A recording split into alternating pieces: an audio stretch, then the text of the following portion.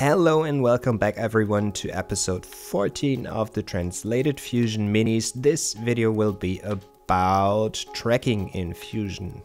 Pretty important.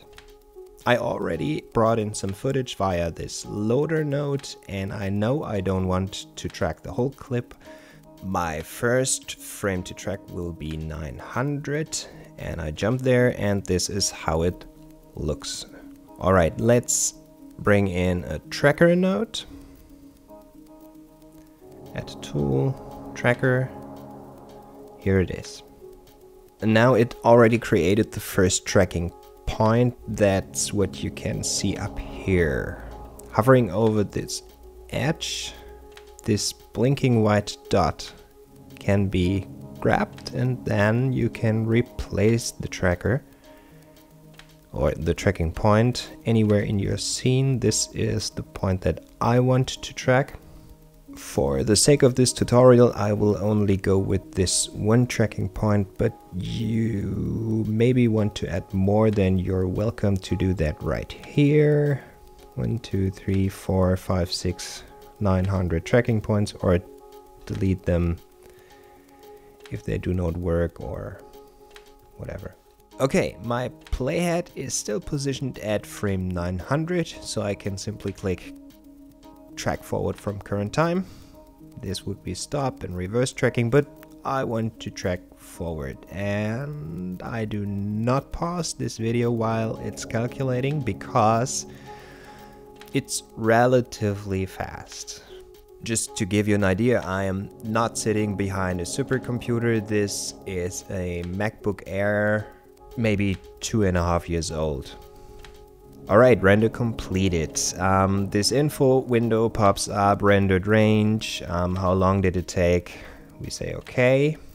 And now we can scrub through it to check if everything worked out fine. Nice, our first track is done, but what can we do with it?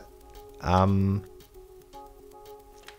I would like to add a text plus node to our scene. With my loader selected, I click on text plus and automatically it will be merged with this loader.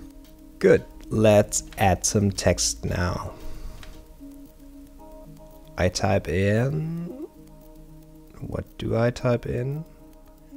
Ah, schicke Schrift, which is German for um, fancy font. Okay, now we need to link it to our tracking data. With the text plus node selected, I am adding a transform tool. In that transform tool, I can hover over center, right click on it, connect to tracker position. And bam. Let's click on play. Wow, nicely sticking on there. It worked. That's how you can manage simple tracking operations right inside of Fusion. For more difficult tracking jobs, I would highly recommend working with external tracking data. Mocha, for example, can handle that pretty, pretty well this episode is over now. I hope you liked it. If so, please give me a thumbs up or tell your friends or both. See you next time. Bye.